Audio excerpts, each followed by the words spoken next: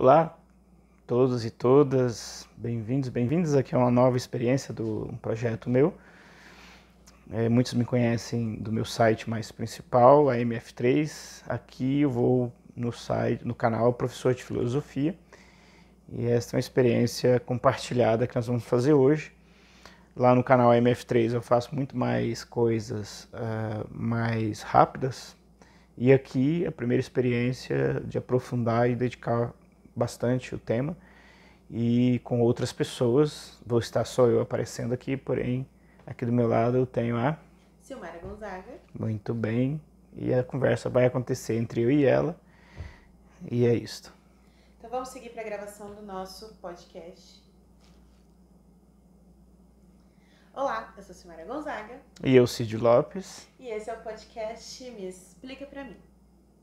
Hoje a gente vai avançar um pouquinho mais sobre as temáticas. No podcast anterior a gente falou bastante sobre a questão da linguagem, que a gente vem passando aí por todo esse processo dentro da filosofia, pensando o psiquismo, né, a partir desse movimento.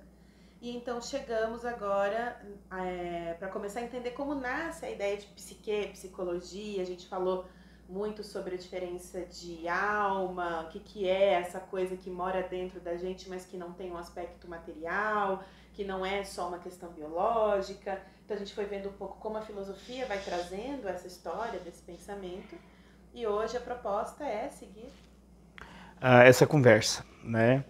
E talvez entrar aqui, e talvez não, mas entrar a partir de um autor específico uh, que trata sobre esse tema uh, no contexto da, da história das ciências, a partir do 1600 virando para o 1700. Uh, é muito interessante as pessoas compreenderem que invenções científicas elas não surgem de uma hora para outra e as invenções científicas são coisas que são feitas por muitas pessoas, nunca é por uma única pessoa.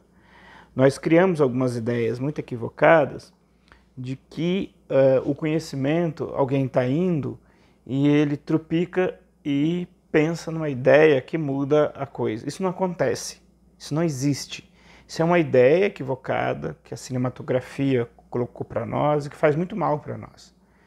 Porque a investigação científica é um processo feito em coletivo e ela demora tempo e a, a grande boa nova é que nos nossos dias os sistemas universitários é, fornecem em geral para nós, no caso do Brasil, não é todo o país que tem isso, é bom lembrar, mas fornecem, é, é como se tivesse concentrado, é, se organiza as instituições de ensino superior, as universidades, e elas começam então a produzindo. E depois de um tempo isso vai acelerando-se. Então o Brasil passou por um processo de organização da vida universitária nos anos 50. E ainda estávamos organizando alguns setores nos anos 80 ainda. É, e nos anos 90, em áreas de pesquisas muito específicas. De maneira que, por exemplo, surge um vírus, essa comunidade ela já se conversa não é uma coisa estranha se conversar, eles são amigos, se falam como amigos. Gente de cinco, seis continentes assim, eles já trabalhavam juntos desde essa época. Então é muito interessante a gente se dar conta disso. E que nós vamos falar aqui um pouco hoje mais detalhado, no caso da psicologia, como que isso surgiu. E aí a gente não precisa ficar assustado. Esses dias um primo que gosta muito de fazer árvore genealógica, como eu, me mandou um site específico que faz isso, e nós estamos atrás de, de conectar um possível bisavô nosso a uma árvore de ascendentes que vai ao ano de 1500. Tem gente do ano de 1503, eu estava vendo. Uh, então nós precisamos entender esse tempo que a gente precisa pensar as coisas imediatas. É. Parece um recurso muito longo, mas não é. É, é a ideia um pouco, talvez, um recuo longo. A, também, né? De que, porque essa é a proposta, inclusive, que a gente tem. De olhando para trás, para ir trazendo essa ramificação, para que quando a gente realmente chegue em assuntos mais propriamente de psiquismo, entenda de onde saíram esses Exato. termos, de onde eles foram construídos. E um pouco esse pensamento, né, de que um filósofo vai vindo junto Isso. ou depois de outros, é, e, é, e isso vai formando uma história que vai se emaranhando, não só no sentido de um é, visitar o que o outro já fez para poder dali avançar coisas, mas entendendo que também existe uma limitação, às vezes, de pensamento, que não enxerga um determinado prisma, que não enxerga um outro. É- é Então, muito- É um pouco essa composição, né? É muito importante as pessoas entenderem, e aqui eu vou lembrar de uma historinha infantil que marcou minha infantilidade, a minha vida infantil, né? É, a história do, do Sogato e da Dona Onça. Né? O Sogato foi ensinar a Dona Onça a caçar. Né? Eu ficava pensando, quer dizer que o Sogato é mais esperto que a Dona Onça? É. Foi o dia todo, o Sogato deu aulas para a Dona Onça, chegou no fim do dia, o Sogato queria comer uma rolinha, porque ele estava lá com fome, ele só estava dando instruções, né? A Dona Onça é grande, espanta os bichos. E aí o seu gato deu um pulo de lado, uau, e pegou a rolinha. A Dona Onça ficou chocada com aquilo. Que isso? Você não me ensinou isso? É, Dona isso aqui é o pulo do gato. É, isso é fantástica essa historinha. Mas quando a gente vai falar, por exemplo, de psiquismo nos nossos dias, acontece de que falta muita informação. E porque foi, é é essa concentração de informação de 300 anos, quando você chega num, num conceito neurótico. eu É, tava é, lembrando exatamente disso. Eu ia contar isso, porque eu lembro quando a gente começou nossas primeiras conversas e você trouxe esse termo neurótico, a gente tem uma visão mais simplista do que, que é o neurótico e muito negativa. Até entender que depois, conforme você foi me falando, né, de, de toda essa história do psiquismo, da estruturação psíquica, que na verdade o neurótico não é um xingamento, que hoje ficou meio como isso. Ah, você é neurótico, então a beira gente usa também, surtou, né? isso. E aí entender de onde esses, esse- essas, esses conceitos, na verdade, são construídos e que são tipos psíquicos. Então, para chegar nesse movimento, um pouco dessa ram- ramificação. Eu queria lembrar, só para a gente ir também trazendo o eixo de- do que a gente já tinha, por onde a gente já tinha passado, no último podcast a gente falou sobre Spinoza. A gente chegou na linguagem, mas a gente falou muito dos afetos. Acho que a gente se demorou aí uns dois podcasts aprofundando essa questão do Spinoza, entendendo como a gente é perpassado pelos afetos, nesse entendimento de que a racionalidade não dá conta de tudo, que Uhum. existem outros movimentos dentro que estão interferindo na nossa percepção, ou mesmo na falta de percepção. Uma dessas questões é a questão dos afetos, né? De quando a gente está perpassado por um afeto, isso muda a nossa forma de ver e o, e o Spinoza traz essa contribuição. É, mas ainda a gente não está falando de psicologia, Uhum. né? E aí é um pouco O pergunta, é, O chega. Christian Wolff, é, olhando aqui para um roteirinho que eu fiz e um, outros textos que eu tenho aqui para ajudar a memória, ele nasce em 1679, só para a gente ter uma noção, e falece em 1754. Ele vai escrever boa parte do seu material já no 1700 para frente, suas referências. Ah, ele tem uma contribuição de várias coisas para a psicologia que ainda prevalece hoje em dia. Quando, por exemplo, ele fala de representação, que em alemão é Vorstellung, eh, por exemplo, eh, esse termo é usado até hoje, e outras palavras dentro da psicologia, que é, por exemplo, representação. Eu vou dar uma olhadinha rapidamente aqui no meu roteirinho. É, é, desenvolvimento do espírito, é, que a gente chama de building em alemão, também é, é da, da, origem dele. Eu vou, eu vou procurando aqui os termos, aqui achei. Uh, então, é, representação, Fortelling, é usado até hoje dentro da psicologia. E isso nós estamos falando, ele escreveu isso por volta de 1700 e pouco, uhum. 720. Uh, depois, um, tem outra palavra aqui, consciência, que nós usamos muito dentro, que em alemão é algo como uh, Bewusstsein, Bewusstsein, uh, em alemão. Não importa o alemão, ficamos consciência. É. Depois, atenção, é, que é um palavrão, um xingamento danado em alemão aqui, Vamos né? É, é, sim, sim, sim. Melhor. Mas estão pegando os nomes assim mais bonitinhos, são é, primeiro, que eu acho que esse é bem usado no, na questão do Freud, uh, a representação. Uhum. Então, às vezes, eu falo, uh, isso é fantasia e isso é alucinação. Uhum. que é representação na cabeça? Por exemplo, eu vejo aqui uma garrafa, eu produzo uma representação dentro da minha cabeça da garrafa. Isso é uma representação. Mas às vezes, e com muito mais frequência, e esse é o problema, eu produzo representações sem ter nada fora. É, só que a gente se dá conta que, que aquilo está dentro da cabeça só. Só que tem uma mistura aí que, com muita frequência, tem coisas que a gente não consegue ver que ele não tem correspondente fora. Uma garrafa é fácil. Se eu estou alucinando uma garrafa dentro da minha cabeça e ela não está na mão e todo mundo, os parentes, está vendo que a garrafa não está, você está com problema mesmo. Isso é alucinação. Só que eh, nós é um jeito mais pedagógico de falar o que é alucinação. Só que tem muitas coisas que não tem mesmo objeto externo, mas que existiria uma realidade fora. Por exemplo, alguém é, é generoso comigo ou grosso comigo. Isto é uma coisa que existe ou não existe, que está fora de mim e que eu preciso é, saber se aquilo que eu estou pensando do outro está dentro de mim mesmo. Às vezes eu acho que a pessoa está querendo me sacanear.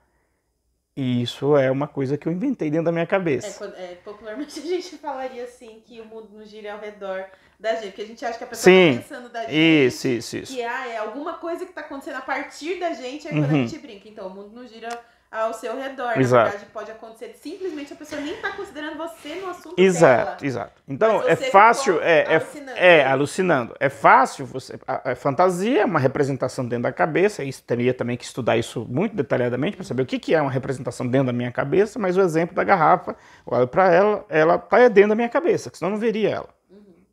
Quando apaga a luz, é porque a luz que bate e repercute no meu olho não está fazendo o objeto chegar até mim. Então, esse objeto, eu primeiro formulo ele dentro. Aí tem toda uma explicação, como é que isso dá dentro da cabeça. E aí tem aquele estágio, então, que eu invento essas coisas. E aí, a garrafa é mais fácil para explicar. Quando você pensa que tem uma garrafa na sua frente, ela não está. Aí é clássico, né, para entender. E que às vezes o afeto alucina também. Exatamente. Que é de parte. Exato, exato. Coisas que Aí, a gente começa a pensar não, porque aí eu já tô é, isso dispara uma cadeia de Para complicar o assunto, existem coisas que existem fora da gente e que não são da natureza dos objetos, são da natureza das coisas, das pessoas. Uhum. É, e aí é que mora a dificuldade. É aquela história do Chaves lá do Kiko, das questões. O professor pergunta uma coisa e o professor mesmo responde. Aí ele pergunta uma que o, que o Chaves não sabe responder, ele brinca. Você ficou com a mais fácil. Deixou mais difícil é, pra mim. Todos nós, na vida de estudante, tivemos essa experiência. Parece que o professor, quando explica, ele fazia o mais fácil. Aí ele taca aquele que é a exceção. Aí a gente se lasca. Quer dizer, é, é, é, essa aqui é a mesma prova. O mais fácil é a garrafa. Depois entender que a gente alucina outras coisas, aí se torna mais difícil. Mas para a ideia da convivência, por exemplo, familiar, da convivência das relações, é fundamental nós termos uma educação, e, e é esse o objetivo desse podcast, por exemplo, de aprendendo entender quando é que nós estamos alucinando afetos. E não só alucinando, mas também outros exercícios para poder colocar isso em prova. Exato. Né? Até onde a percepção que eu estou tendo é realmente uma percepção real das coisas. Isso. Voltando. É, só para concluir isso, e aí, por exemplo, quando a gente fala é, terapeuticamente, né? Por que você não experimenta comunicar para a pessoa o que você tá pensando, em vez de ficar tentando adivinhar o que ela tá sentindo de você. É assim, vira um negócio que não tem fim. Exato. É, aí você precisa comunicar mais reto. Então, ir lá e falar o que você tá pensando, entender, ouvir do outro o que ele também tá pensando e a partir daí confrontar com o que você tá imaginando. Sim. Uh, o caminho para toda essa solução, os filósofos já pensaram também, e esse cidadão aqui chamado Wolff, Christian Wolff, ele também é, vai pensar um monte de coisa. E aí é muita coisa. E este modelo de pensar soluções para as coisas, quando a gente descobre, é igual aquela tentativa em São Paulo de pegar um atalho indo para casa de carro. Você olha para aquela ruazinha, ela tá vazia, né? E ela tem que fazer uma curva, mas você só vê até a curva. Você fala, hum, vou cortar caminho. E tchum! Quando você entra, que você vira, tá, tá tudo parado, porque todo mundo já pensou. Então, em, na área de história da, do, do da, estudo da alma, é, tem muita água aí que muita gente já fez o caminho. As palavras para a gente é, só relembrar era então representação, consciência, que também é um negócio muito interessante. Nós falamos popularmente, você tem consciência? Eu digo, eu tenho. Mas o que é consciência? Né? É... E onde ela está, né? Dentro do psiquismo. Exato. Qual isso. é o papel da consciência? Ela é uma eu entendo que ela é uma parte do movimento todo do psiquismo. Exato. Mas e e o tá? outro termo, uh, o que, que é atenção? Aliás, esse é um tema da escola, né? Uh, e aí há os atropelos habituais, porque a gente não entende de psicologia em geral. É, por que que fala o aluno não tem atenção? E aí ele chega com aquela fórmula mágica, né? Que muda o mundo. Você precisa ter mais atenção. Nossa, que legal! né? É, que a, gente, a gente sabe dessas palavras, mas a gente não sabe pensar, desembolsar um pouco mais. Por exemplo, um adolescente com 14 anos, numa profunda transformação. Né? Biologicamente, o corpo dele está perpassado por uma, uma, uma presença de hormônios na corrente sanguínea. Você pega uma criança com 12 anos, três anos depois, com 15, ela cresceu os órgãos, né, os genitais, a mão, o pé, ela cresceu né, os seios, uh, o pelo surgem. E os malditos dos adultos, incluindo os que estão na escola, que cuidam da escola, ignoram esse fato. Sendo que se pudesse pegar um adulto e dar assim, um pouquinho assim, uns, alguns centímetros, alguns ml, 5 ml de qualquer dos hormônios, dá nele na veia, e ver o que, que acontece com ele na próxima meia hora. Aí eu vou ter que fazer agora também a mesma coisa que a gente fala. Pega os homens e faz isso pensando nos hormônios femininos, que a gente tem que experimentar essa ebulição mensal. Exatamente. Que é, né? As pessoas brincam com algumas questões como TPM, mesmo menopausa, outros, outras questões do feminino nesse lugar eu conheço, falta de entendimento desse processo. Eu conheço pouco essa orgânica mas eu sei que se eu te der 5 ml de testosterona na mulher ou no homem, eu quero ver se você consegue prestar atenção na porta que está na sua frente. se você consegue acertar ela. Eu entendo pouco disso. Você já falou também para mim dessa questão da testosterona conectada com atenção, concentração, e que, que é um hormônio que pode estar em desequilíbrio gerando. E aí, de novo, a gente volta. Algumas questões podem ser de ordem psíquica e algumas podem ser de ordem biológica mesmo. Exato. Nem exato. tudo é uma coisa só. E sim, às vezes sim. pode ser as duas coisas ao mesmo tempo. Então, você também conhecer esse movimento do corpo para também entender até onde se limita o que é corpo e o que é psiquismo. Senão, às vezes, você está lá tentando trabalhar atenção, concentração, mas você está com uma questão hormonal. Não dá para você dissociar uma coisa da outra, né? E, e, essa transição é o que eu vou passar a falar daqui a pouquinho mais no Wolf. Eu queria só destacar essas palavras dele, que é influente até hoje, não perderam o seu lugar para a gente entender como que ele conseguiu, né, num dado momento, inventar o Fusca, uhum. que é um carro, né, que é hiper eficiente, etc. Tem só aquele cheiro de gasolina terrível. Que ainda... E aí, lembrando, quando a gente está falando de palavras, na verdade é porque nós estamos falando de conceitos. Uhum. Então, a palavra, ela guarda por trás dela um conceito. Então, quando a gente está falando de consciência ou de outras palavras que a gente vai trazendo aqui, é tentar redesenhar qual que é o conceito. Porque às vezes a palavra caiu tão em uso, assim, e foi sendo utilizado, utilizado, a gente perde um pouco qual que é a referência conceitual. É, hoje dela. em dia se usa muito doido, doida, uhum. por exemplo, e as pessoas no geral não sabem o que, que foi a luta antimanicomial. É igual você estava falando também a própria palavra surto, né? Sim. o que, que é realmente? Porque você fica usando tanto, tanto, uhum. e aí você nomeia às vezes uma coisa com uma palavra que não tem nada a uhum. ver com aquilo, e aí você passa a não ter conexão com o que está realmente acontecendo no real, porque Uhum. você acha que é uma coisa, mas é outra. É, a palavra acaba, porque a palavra tem essa característica, ela, ela é convencional, né? Então o, o, o uso é aquilo que nós decidimos que vai ser. Se então começa a se usar aleatoriamente no popular, sem a precisão científica, vai dando outro significado de verdade. E aí a gente pode perder a referência. E vai perder a referência histórica que desenvolveu o termo e o conceito. Voltando aqui ao, ao Christian Wolff, é legal né, notar a ideia desse cara, porque o que, que ele estudou? Ele estudou filosofia, teologia e matemática. Então eu gosto de conversar às vezes com algumas pessoas, ainda hoje estava conversando com um amigo e a gente trabalha junto num projeto em outro país, que é Cabo Verde, na África, e falando sobre método científico. Uh, e às vezes a gente esquece que, uh, por exemplo, e eles, a gente estava discutindo muito mais um tipo de método, que é o método das ciências sociais e humanas. Mais das ciências sociais, nem tanto das humanas. E aí eu estava propondo para ele, olha, a filosofia não tem esse método. A filosofia deixa então de ter valor isso coloca em xeque as pessoas, porque hoje em dia a gente está numa ideia de que tem valor é aquele que é científico. Mas se eu te falar que existem seis métodos científicos, o que, que a gente faz? Complicou a vida, né? Eu sempre lembro de uma outra historinha muito engraçada de um estudioso de Bíblia nos Estados Unidos que ele conta isso rindo. É, é alguém que se tornou doutor nos estudos, graduou, fez mestrado, fez doutorado e conta essas anedotas. Ele tinha 14 anos, ele quis entender um pouco mais um texto da Bíblia em inglês e aí eu acho que ele foi numa livraria e descobriu que tinha várias Bíblias. Aquilo deixou ele perturbado. em inglês, né?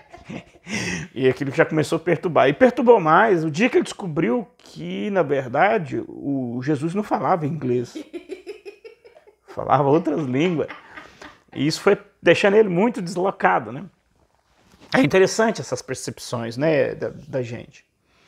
Uh, eu estava querendo dizer isso mesmo porque... Uh... eu já perdi o raciocínio. Ah, é que... Uh... Você está falando do método científico. Isso, isso. É que, é, é, então, quando eu falo para a pessoa que tem vários métodos de pesquisa, o pessoal fica meio assustado. Uhum. E o método, por exemplo, da, da, matemática, ele é diferente do método das ciências sociais. Ah, sim, porque você estava falando do que ele tinha estudado. Do que ele estudou. E ele estudou, então, teologia, filosofia e matemática. Eu precisaria só confirmar, mas é essas três. Porque é o seguinte, e esse é o tema que eu queria retomar aqui, porque eu já tinha falado disso nos outros, que há uma disputa pela alma uh, pelas igrejas. E o Wolff não foi diferente. O Christian Wolff teve que se ver com esse lugar. Uh, então, 1600 e pouco que ele nasce, já e antes do 1700 já estava ali começando a falar de, de questões. O contexto ali era da reforma protestante, aquele movimento cultural que um grupo discordou de questões ligadas à Igreja Católica e depois se mataram na faca, no porrete, tiveram guerras de 100 anos, de um matar o outro é, de modo mais lento, porque não tinha tanta pólvora, então tinha que ser na base do porrete, do dente, do, da gravata. É, e quando eu vejo aqui no Brasil, muitas das vezes, pseudos discussões de evangélicos com católicos, eles não sabem o que, que isso deu. Né? É, quantas caveiras e quanto sangue está nos rios da Europa. Porque sempre dava briga na beira do rio e jogava todo mundo morto dentro da água. Então é, é uma coisa louca isso. Né? O fundo do rio Seine, em Paris, aquilo tem mais caveira do que água e peixe dentro daquele rio ali. Né? É, porque aquilo sempre foi palco de guerra. Mas a guerra religiosa foi uma das mais sangrentas. E o Wolff, então, ele estudou isso. Uh, e aí, curioso, como é que o cara que inventa psicologia estudou teologia, estudou filosofia? Provavelmente, então, você acaba de descobrir que você está entendendo pouco de psicologia, pouco de filosofia, pouco de teologia. Porque certamente você acha que teologia é uma coisa, você certamente acha que filosofia é uma coisa, e que de repente agora você está descobrindo, mas como assim filosofia estudar? É. Eu vou dizer mais, no contexto alemão, filosofia estudava biologia também. Isso que hoje a biologia, uma hora separada, era junto do curso de filosofia, fazia parte do curso de filosofia. Ou os próprios cursos acontece isso, eles mudam o que a gente entende dos cursos. E é importante a gente entender isso porque para a gente então entrar nessas áreas conceituais, a gente precisa dominar essa história de como que ela se desenvolveu, porque senão a gente se decepciona. Então a ideia que você entende de filosofia, se você não se formou em filosofia, provavelmente é equivocada. E sejamos de boa, né? Você não estudou filosofia. Como é que você sabe filosofia? Agora, se você sabe e não estudou, eu vou ficar com inveja, porque passei uma arranca de tempo da minha vida estudando isso, e às vezes até eu tenho dificuldade de dizer, e você que não estudou sabe. Olha que loucura! E teologia também, se você sabe, eu passei seis anos também mexendo com isso, e, não, e, e, e você sabe, sem ter dedicado tudo isso de tempo, eu não, no mínimo esquece os argumentos e vai partir para inveja cruel, direta, tô com inveja de você e outras coisas mais, né? Puto com você, porque você sabe, e eu levei tanto tempo para saber. E eu tô falando isso, parece brincadeira, mas eu dou aula nesses cursos. E, sobretudo no curso de teologia, o que eu mais encontro é gente que começa a fazer o curso e já sabe todo o curso. É, então, para lá, então o que você vai fazer no curso, né? Para que você quer o curso? Uh, então, é, essa discussão parece brincadeira, mas é, é, quando a gente vai falar de alma e de psiquismo, O grande problema para ser desbastado, desmontado para a gente compreender, é exatamente essas ideias que nós já temos sobre o assunto. E o que ele vai fazer nesses estudos dele é isto. É, isso vai gerar, obviamente, problemas para ele, porque vão chamá-lo de ateu. Né? A, a, maior preocupação de quem chega num curso de teologia, numa graduação, numa faculdade, que tem curso superior, é se o professor, eu não sou padre, ainda que estudei para, não sou pastor, não sou crente, não pratico nenhuma religião, não faço louvor, então você é ateu. Cara lá, eu não falei nada ainda, meu. Como é, como é que você já. Então existe essa pressa de, sabe? Você é ateu. Não, não, eu sou alguém que entende teologia. E, e, e para que essa pressa de querer, pô. O Christian Wolff também viveu esses dramas, foi expulso da, da região que ele vivia, que é na Prússia, ele foi viver numa outra região lá da Alemanha. E só depois, mais já velho, que ele volta para a Prússia, que morreu o, o, Guilherme primeiro lá e entrou o outro é, é, filho dele, que foi reinado, e chamou o cara de volta. Mas ele foi expulso da terra dele porque os professores o achavam ateu. Ele quis estudar matemática exatamente para tentar uma área de conhecimento que fosse mais precisa, do ponto de vista lógico e etc. Desses estudos dele, tem bastante coisa legal aí, e a matemática não é essa da escola. Essa da escola é um entulho que serve para outras coisas.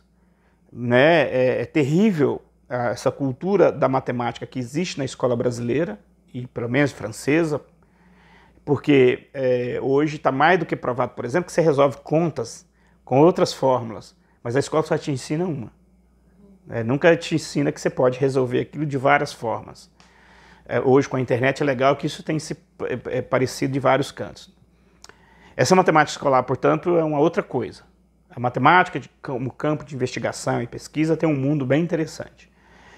E um dos mundos que interessa para a psicologia é exatamente a questão é, de é, símbolos, uh, de geometria. Tudo isso é interessante para a gente fazer leituras de quem nós somos. Não vou entrar muito nisso, mas a, a chave está por aí. E ele trabalhou isso durante um tempo e foi perseguido porque os colegas o achavam, portanto, uh, ateu demais, porque ele estava interessado. E aí, para arrematar aqui esse assunto, ele chegou a um ponto na seu desenvolvimento do seu conhecimento, que é, ele dividiu o conhecimento em três, em três áreas. Ele disse que tudo estaria dentro da física, é, uma, dessas, uma dessas três. Da física, uh, a outra parte estaria dentro da psicologia e a outra parte dentro da teologia. Ou dentro da física, dentro da alma. É, é, a física era tudo que é, aqui para facilitar, tudo que é concreto é a física.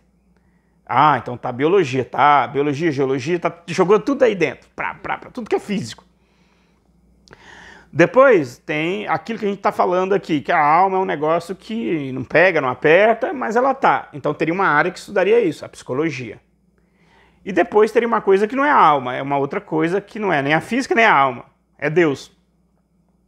Então ele propõe esses três campos de conhecimento: física, psicologia e teologia. E aí ele vai depois debruçar sobre a psicologia, um bando de conversa aí com esses é, termos para falar da psicologia. É a primeira vez que se usa essa, essa questão psicologia para pensar nesse histórico que a gente está. Pois é, é, de imediato eu não saberia explicar. Porém, porque, por exemplo, o Aristóteles tem um livro chamado é, De Anima, que é a alma. Eu teria que ver se o termo psicologia aparece em grego. Né? É, aqui de cor, eu não estou não conseguindo pensar nisso. Uh, anima, animal. É porque tem, por exemplo, quando a gente pensa no contexto grego, a gente já tem as histórias de Eros e Psique, uhum. e aí você já tem um pouco alguma coisa retom né? Uhum, uhum. levando para esse lado do, do, do psiquismo, psique. Uhum. O fato é que o Wolff vai fazer uma distinção entre a psicologia racional e a psicologia experimental. Hum. A, a psicologia racional é todo um processo de exame racional, de investigação racional, de percepção de si mesmo, etc, etc. E a questão é, da psicologia experimental, eu até estava preparando para esse podcast, eu estava vendo. Tem um outro autor na Alemanha chamado Wundt, o Wundt, que é considerado o cara que criou o primeiro laboratório experimental, mas ele já é de 1800 e pouco. Ele vem falecer em 1870. Uhum. E eu estava achando estranho porque a minha referência de psicologia é o Wolff, o Christian Wolff. Eu acabei mexendo nos meus materiais didáticos e encontrei primeiro o Wundt, que é o cara que faz em Leipzig, Heidelberg, em Berlim, um laboratório de psicologia experimental. E isso ma marca a ideia de behaviorismo, que em inglês é comportamentalista, comportamental, da psicologia nos Estados Unidos. Os americanos acabaram pegando mais os aspectos meramente técnicos e esqueceu mesmo do Wundt toda a reflexão filosófica que tinha. O Wundt também tinha filosofia nisto. E, e aí, anterior ao Wundt, tem o Wolff. O Wolff é mais importante ainda do que o Wundt.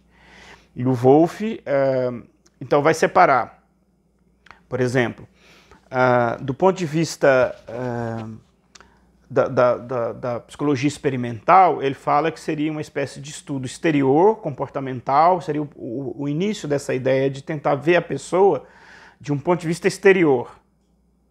Ela repete movimentos, é, seria uma coisa assim, mecânica, por assim dizer. Uhum. E a racional estaria ligado mais aos elementos da cultura, da linguagem e tudo mais da psicologia racional investigaria isso. Uh,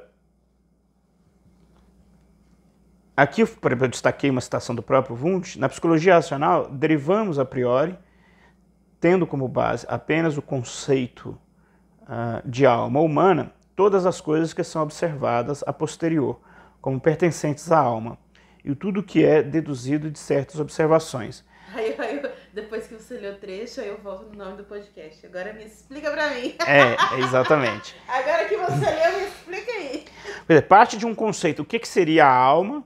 Aí vamos começar, é um centro que unifica o meu eu. Teríamos que. Aí, o que, que é eu? Quem sou eu? É, o que, que delimita o eu? E aí, a partir dessa ideia de eu, aí eu vou trabalhar isso. Essa ideia de eu e alma, por exemplo, é, quando aplicado a um conceito cristão católico ou protestante, ela gera problemas. Porque, em geral, é uma definição de eu que não é eu. É uma definição de um eu, por exemplo, que não erra, de um eu que é obrigado a acertar sempre, de um eu que é obrigado a fazer o melhor sempre. E quem que inventou isso?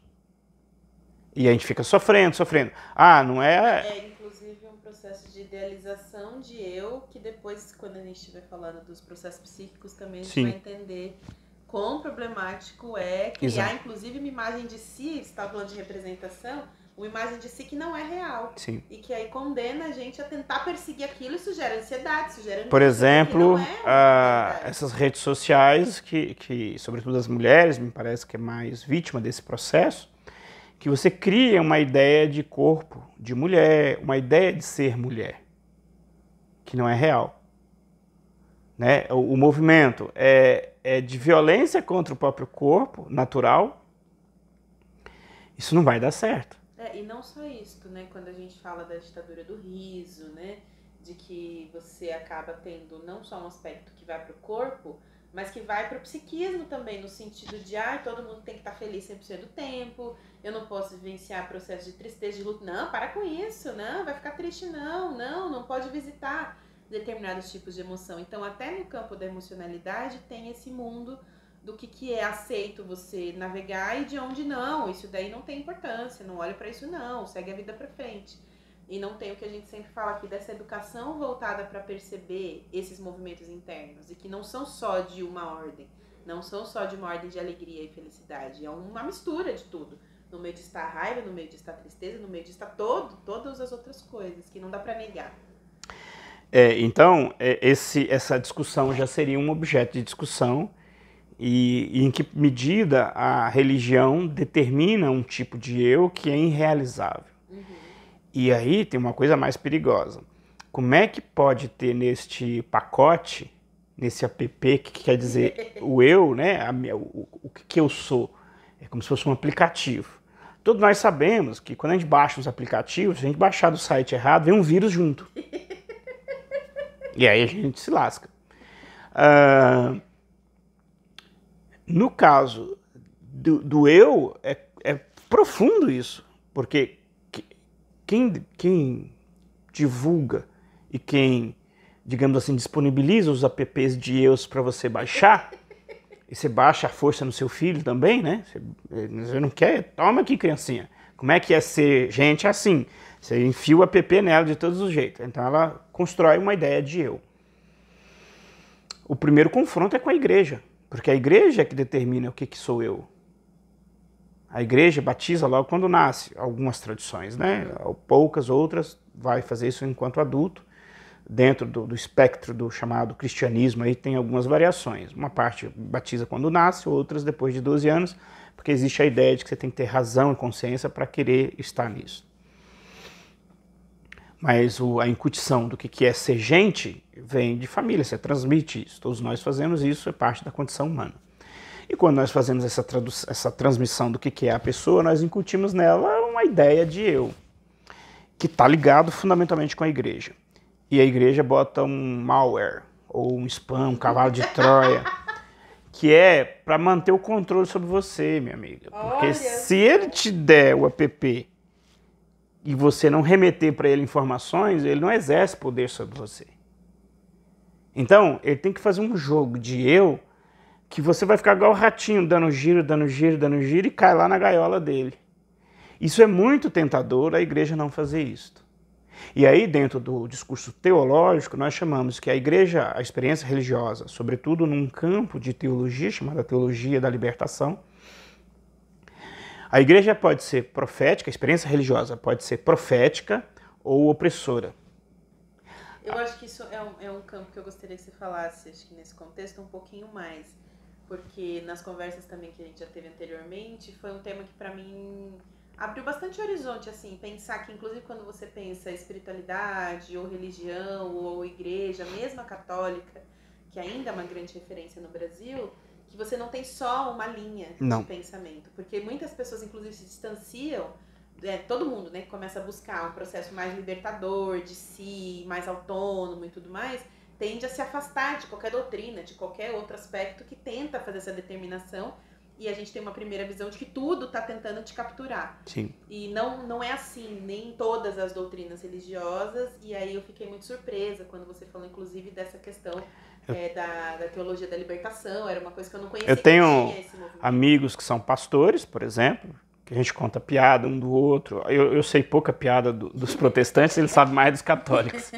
Mas de. E é isto. Eu não quero convencê-lo, vou em culto dele, acompanho, inclusive comento a preleção que ele faz, porque eu tenho informação nisso também, então dialogo com ele, eu sei bem que ele pertence a uma tradição que tem características, que algumas coisas não.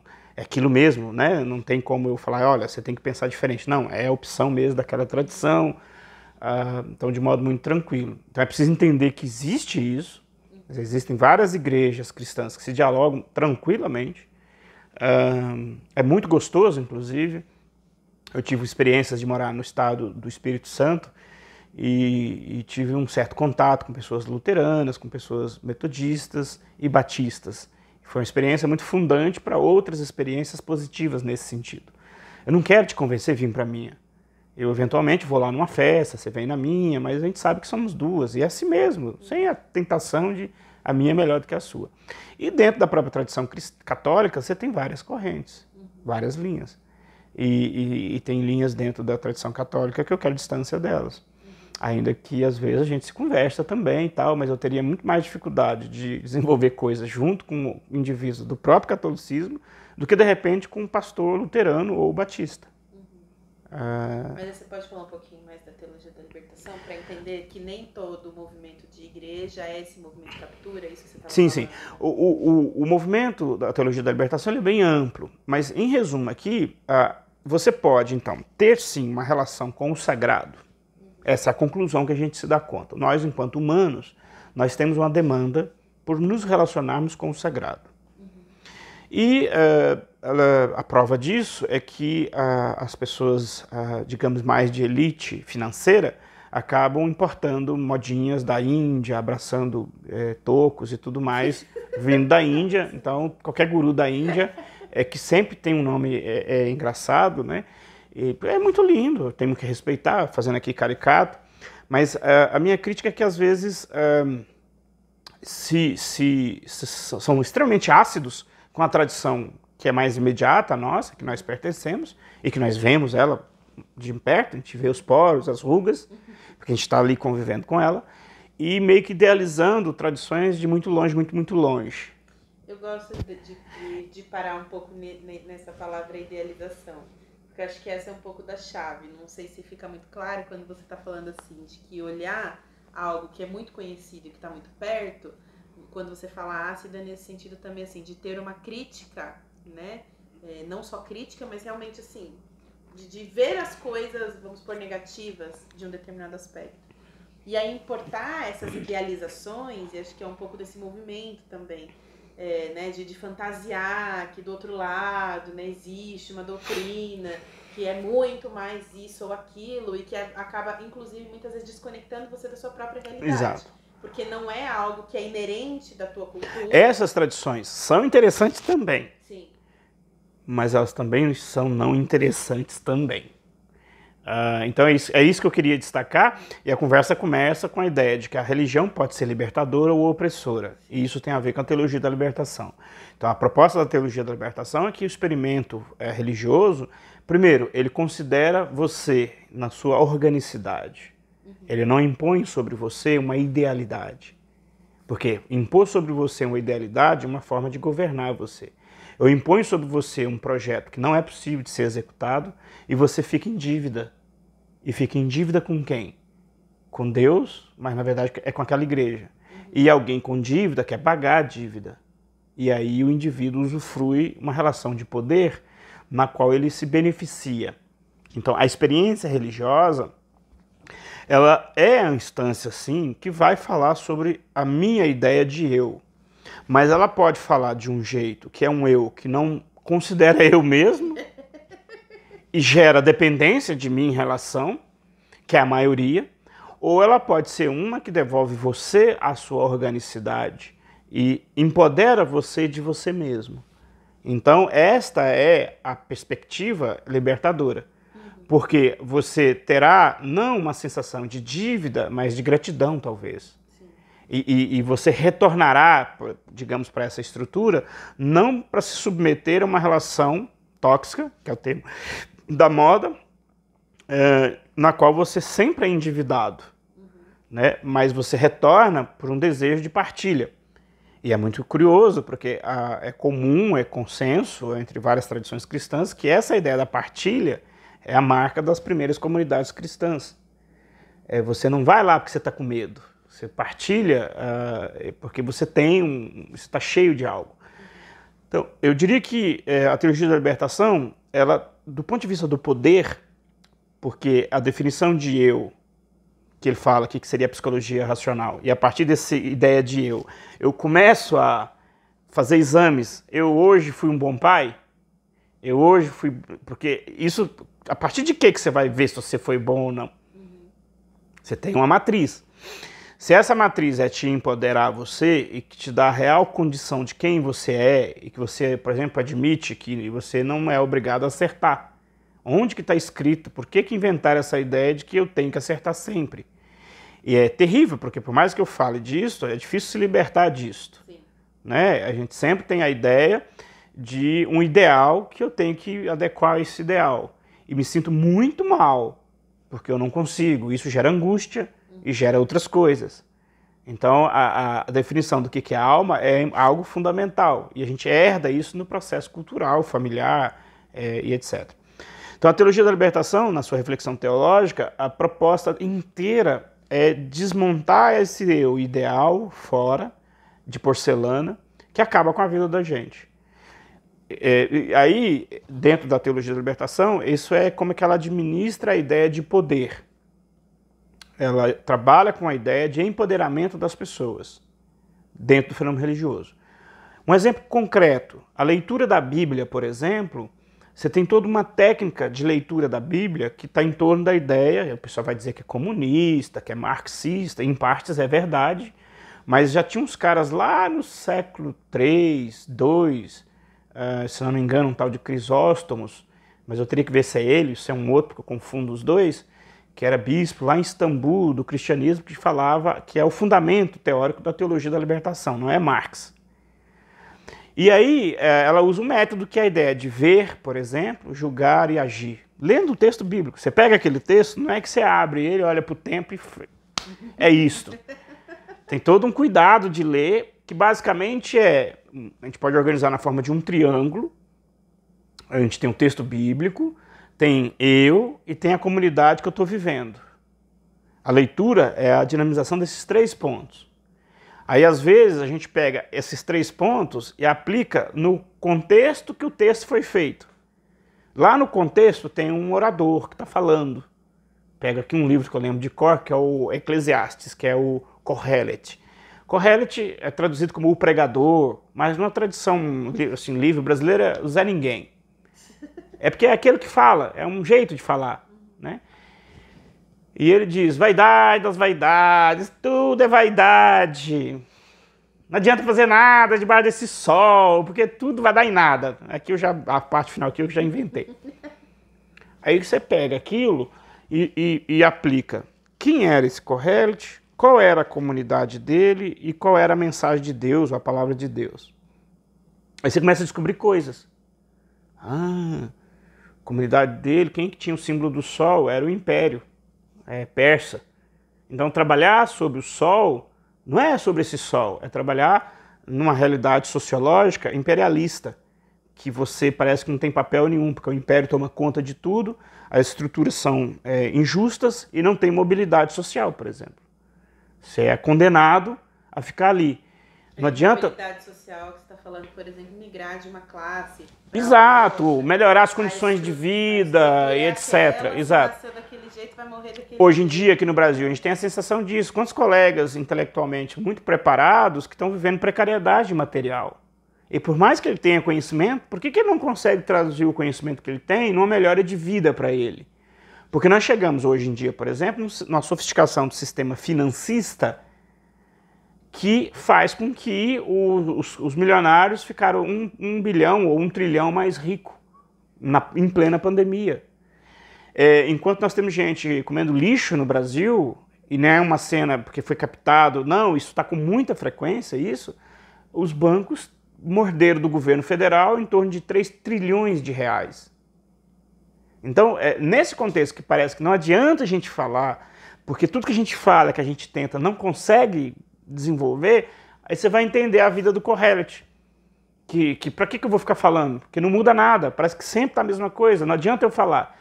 Então, por exemplo, essa é uma aplicação da técnica de leitura bíblica ligada à teologia da libertação. É, é claro que não é unanimidade, vão chamar de comunista e tudo mais, etc. Mas o Christian Wolff, então, quando foi pensar a ideia de alma, psicologia racional, você tinha que ver com isso. Porque você tinha que resolver isso, como eu estava dizendo. O grande proprietário do campo que dizia o que era alma são as igrejas. É elas que dizem o que é alma. Esse filão do mercado, elas que exploram, né? Uh, enfim, e aí ele faz estas, essas divisões. Eu vou ler aqui é, um trecho do, de um artigo que eu tenho aqui como referência, do autor que se chama Saulo de Freitas Araújo. Ele está ligado à Universidade Federal de Juiz de Fora. Uh, e ele faz a seguinte citação: é, O último elemento fundamental do projeto de Wolff é dividido é, é a divisão da filosofia em suas disciplinas fundamentais. Seu ponto de partida são os três tipos de ser que podemos descobrir após um exame de nós mesmos. Corpos materiais, eu falei isso de um jeito diferente. Uhum. Tudo aquilo que está fora de nossa consciência. Uhum. Almas, aquilo que em nós, aquilo em nós que é consciente de si mesmo. Almas, é aquilo em nós que é consciente de si mesmo. Muito louco. Percebe, né? É, muito louco isso. E Deus? A, é, autor tanto dos corpos quanto das almas. Isso é a percepção do Wolff. Sim. Quer dizer, haveria um. Independente de uma questão religiosa mais rápida aqui, se a gente for pensar racionalmente, deve ter alguém que inventou tudo isso aqui. né? É o dono da coisa toda. É o dono da coisa toda, para não dizer um palavrão aqui, né? Tipo assim, você vai e pensa, "Hum, mas espera lá, esse negócio deve estar em cima de alguma coisa, né? Aí alguns vão dizer que é de uma tartaruga gigante, né? Espero só que não seja É. terra plana. Exato. Aí continuando aqui, num, a leitura aqui. Num primeiro momento, portanto, a filosofia, buscando as razões para esses três gêneros de ser, ser é uma coisa que existe. Eu falava no início, é fácil pensar que a garrafa existe. Mas existem outras coisas que não têm um corpo, mas existe. E as relações humanas é isto. A relação humana, os afetos, Isso. o psiquismo. Isso, isso, isso. Ele, ele existe, mas você não pega. Mas ele existe. Então, é, é aí o termo bonito para isso é ser. Porque o trem existe. Pensando aqui em Minas, né? Ah, então, existem esses, esses três gêneros de gêneros. Aí deveria conter, respectivamente, três partes que eu falei, que é a física, para tudo que está fora da consciência, a psicologia, para tudo que está naquilo que chamam de alma, e a teologia. Ah, aqui eles citam a parte do, do Wolff, da obra dele. Continuando, como há coisas, porém, que são comuns a todos os seres, deve haver uma parte da filosofia que trate do ser em geral e de suas afecções. Aí ele fala de duas matérias, que é filosofia primeiro ou ontologia. Aqui é só para complicar a lição. A gente estava aprendendo facilmente, agora tem coisa que embaralha. A gente mistura isso.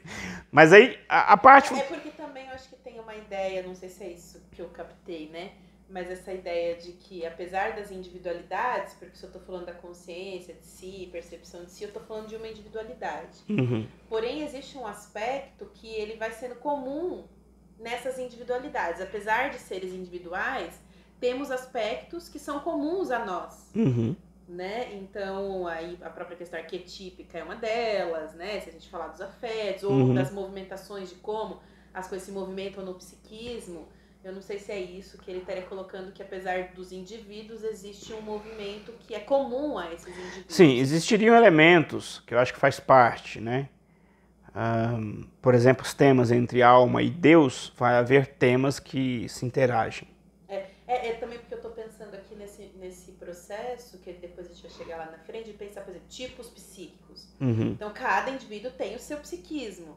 Isso é uma individualidade, mas ao mesmo tempo. Ele compartilha. Uhum. existe- ele compartilha nesse sentido de que existem tipos, né, modelos, e a psicologia sempre tem essa ideia, Exato. né, de pensar os modelos, os caminhos, né? Eu acho que. Mas você tem uma individualidade, mas você tem caminhos parecidos. Então aí você vai chegar nos tipos psíquicos, por exemplo, e pensar essa formação. Como que se dá essa formação?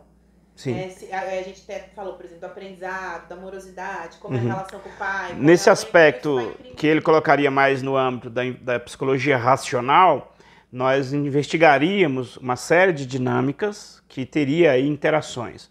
Só que, ah, nesse sentido, a interação ainda era dentro do mesmo gênero, que é a alma humana. Quer dizer, as almas humanas haveria aí é do mesmo gênero e interagiriam. O que ele está dizendo é que existe, por exemplo, uma relação da alma com o físico, ou do físico com a alma, que é quando você está com o hormônio, o hormônio interfere na alma. E não só isso. Se a gente pensar na medicina chinesa, Exato, aqui, exato. já tinha essa Isso é um balai de gato em Tomás de Aquino, que é um filósofo lá de 1300, para explicar como é que o corpo humano, a alma humana é feita de alma e corpo. Eu estou há um ano tentando, junto com dois alunos, discutir esse tema. E é um negócio louco essa definição, é e não é, é e não sei o quê. Mas é, é, ele fala que tem coisas que, que interagem entre esse gênero físico e a alma, e mesmo também a ideia de alma com Deus. É, então tem temas que fazem, que, que pula para os dois lados. É nesse E- sentido. Um. Isso, e não dentro do mesmo gênero, a relação entre todos os gêneros. É, os indivíduos do gênero. Quando eu estava falando da medicina chinesa, que já falava, né, de- é, já fazia esse estudo, nesse sentido que hoje é conhecido mais como um processo psicossomático. Exatamente. De que um afeto ele pode sim gerar uma questão do corpo. Ah, e aí eu lembrei agora do que a gente estava conversando esses tempos, por exemplo, sobre a histeria, que produz paralisias no Exato, corpo. que é o que o Freud vai é descobrir uma isso. ordem orgânica, Sim. é de uma ordem psíquica mesmo. Que produz impacto, Que produz impacto no físico. que é o trânsito da energia dentro do corpo. né? A energia não é material. Ainda que ela é estudada pela física, mas a energia não é matéria. Não é matéria. E a energia condiciona a matéria. Então, é, é importante. Nossa, legal, porque é interessante ver como isso vai surgindo, pra, porque a gente hoje às vezes pensa, ah, psicossomática, doença psicossomática. A gente já assimilou que isso é possível. Uhum. Mas entender a estrutura de como vai sendo pensado até alguém chegar nisto, né? Uhum. Eu acho muito interessante estudar a história das coisas por causa disso.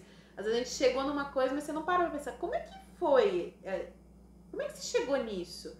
Como que as pessoas tiveram que enfrentar, inclusive, igual você está falando, né? Do cara foi expulso do próprio país. Né? Uhum. O que as pessoas, a que custo elas foram produzindo conhecimento para que hoje a gente chegasse nesse conhecimento. E nesse sentido também de não vandalizar é, esse processo e reconhecer essa importância de, de conhecer, de dar nome, de voltar. Porque tudo foi construído a duras penas por essas pessoas. Na história da medicina é assim.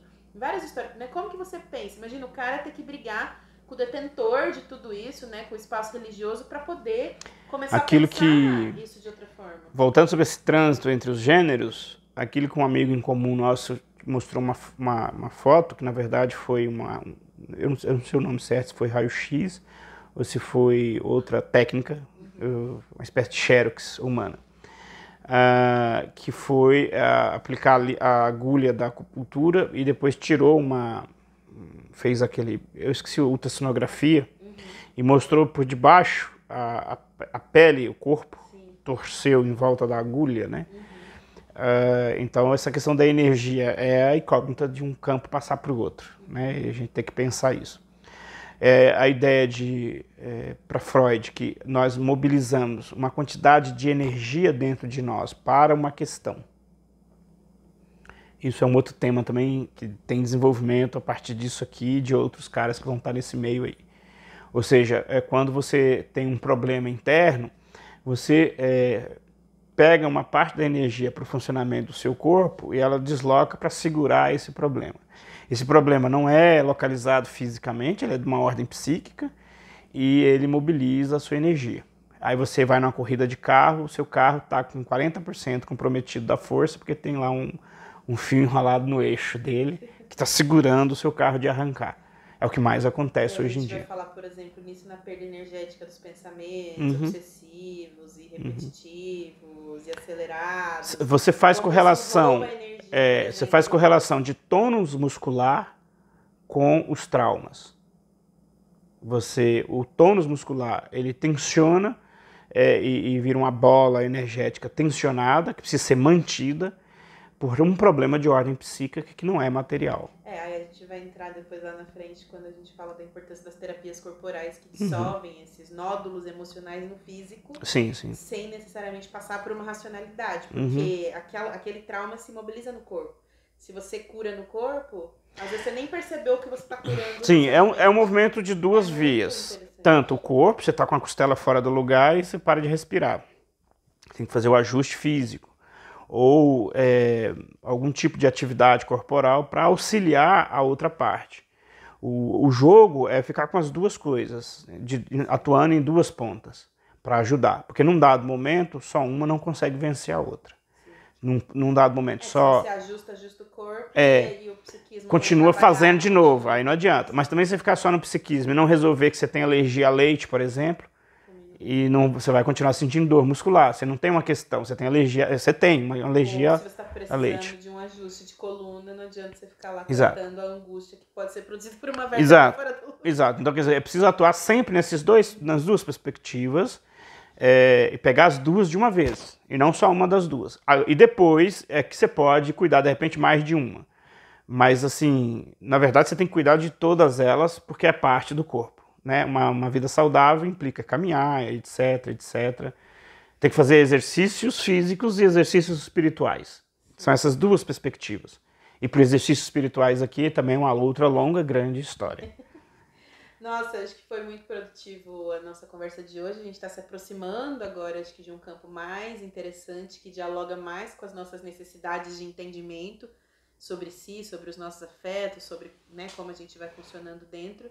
Porque agora está aproximando ainda mais de, de algo que a gente realmente quer falar, que é chegar nesses temas. Em conclusão do, do Wolff, é importante lembrar que ele cria os dois campos, da psicologia racional e da experimental. Isso vai ser muito importante para a psicologia contemporânea, porque inclui o biológico do corpo e todos os avanços da biologia nessa nova área de conhecimento. A gente falou disso aqui indiretamente, já lá na frente, mas a grande contribuição desse cara é falar assim, para lá, tem um biológico aqui também. Nós temos que juntar essas, esse racional e esse biológico. Essa é uma contribuição muito importante dele. Essencial. Esse foi o Me Explica para mim de, de hoje. E a gente encontra você no próximo vídeo. Muito obrigado e até o próximo.